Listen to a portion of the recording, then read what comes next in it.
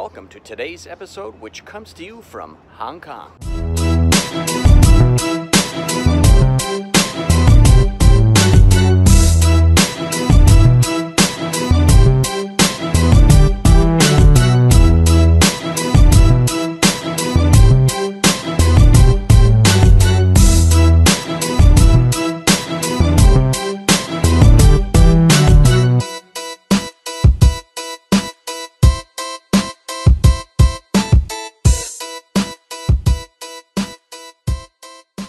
My next episode we'll be back in Beverly Hills for the condo renovation, which is finally back underway. And more about that in the next episode. But right now, I'm in Hong Kong for what could possibly be my last airline trip here as we stop flying here in approximately one week from now.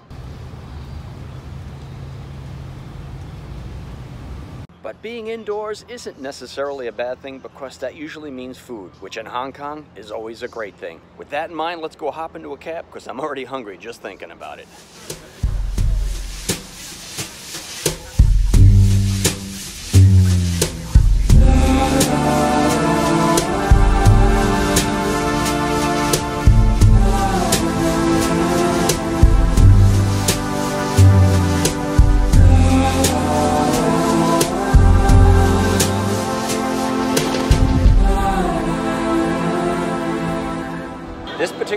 Started out with a deadhead to Seattle the night before the Hong Kong flight. And while I was there, I ate at a restaurant called Din Tai Fung in downtown Seattle. Now this is a Taiwanese restaurant with locations pretty much around the globe. But it's the one in Hong Kong that actually won the only Michelin star. So I thought it might be a good idea to see how its Seattle location stacks up against the one here in Hong Kong. Now at the Seattle location, I had the spicy cucumber salad appetizer, some snow crab pork and soup dumplings, and uh, some noodles with sesame sauce. Now with all the amazing things to eat here, I'll do my best to compare the same items, but there's no guarantees.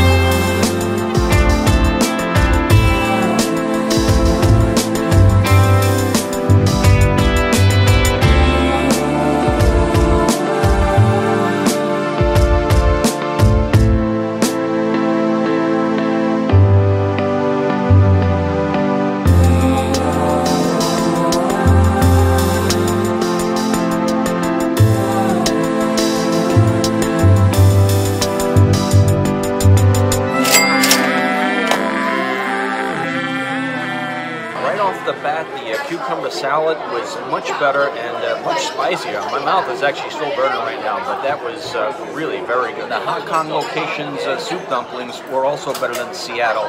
There was a lot more soup inside, and they were just a touch more flavorful. I'll leave the uh, Din Tai Fung location here to finish this part of the video as it got very crowded and it was also getting very loud in there as I was afraid you wouldn't be able to hear me. Anyway, after the soup dumplings, I deviated from what I had in Seattle because I thought the noodles with the uh, sesame sauce there that I had were just okay. The noodles with the minced pork and beans here, man, they were excellent. And because I was still hungry after dinner in Seattle, I ordered the pan-fried shrimp and pork dumplings here. And as you can imagine, man, they were excellent. And all in all, I have to say that the one here really was much better than the one in Seattle. Anyway, if you like this particular video, let me know in the comments below as my good friend Larry, who is also a pilot for another airline, and I are in the planning stages of an entirely new channel dedicated to things just like this. So stay tuned for our announcement on this channel very soon. Now it's time to visit my brand new iPhone XS Max and Apple Watch Series 4 at the Apple Store just down Canton Road here. It's actually right behind me. And it's not actually my iPhone or Apple Watch, it's just ones that they have on display because mine's are sitting in a box back home as I was assigned this trip just the day they arrived. So anyway, let's go take a peek. And one other thing that I thought was rather interesting, and it's always done here, they got knockoffs of all the brand new iPhones as you walk the streets, I mean just feet from this Apple store. It's kind of amusing actually. And they're, they're not real iPhones, they're charging as much as real iPhones, and they work on the Android operating system.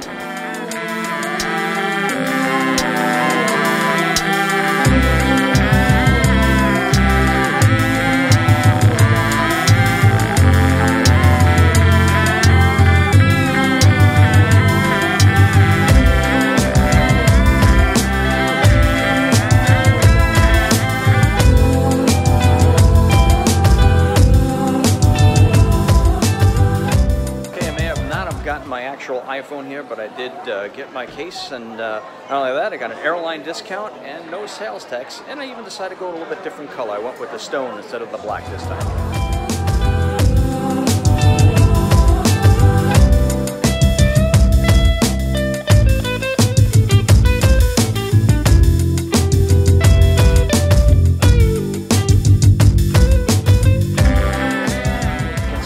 Uh, my last time here uh, in the food court that's uh, just below where the uh, Din Tai Fung is, is a, uh, food court called Food Republic.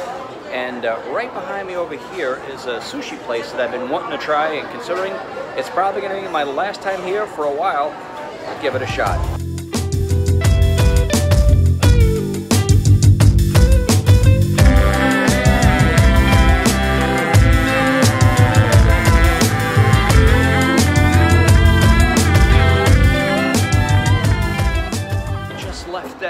Sushi place, and uh, honestly, it was uh, very good. I had pretty much a decent meal that was under $13, and it was uh, fantastic. All right, now that I'm done, I came back outside on Canton Road. I was going to do a little bit of walking around, but the skies are looking threatening again with some thunderstorms, so I think it's time to regroup and uh, grab a taxi cab and go back to the hotel.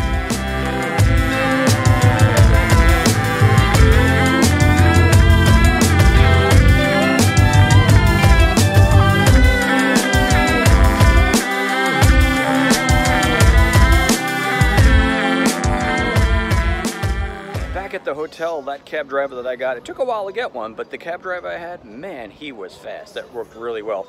And uh, right behind me here looks like a, uh, a wedding going on. Let's go take a quick peek.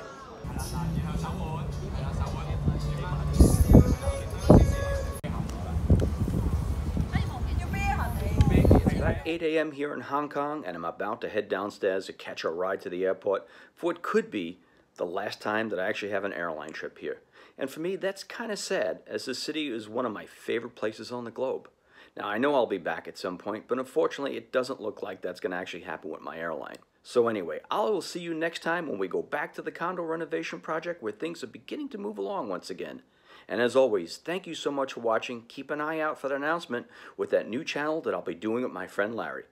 And I will see you next time.